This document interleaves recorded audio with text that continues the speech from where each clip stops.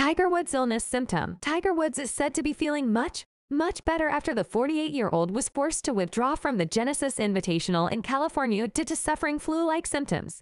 The 15-time major champion, tournament host this week, returned to the PGA Tour on Thursday, finishing his opening round at the Riviera Country Club on one over par.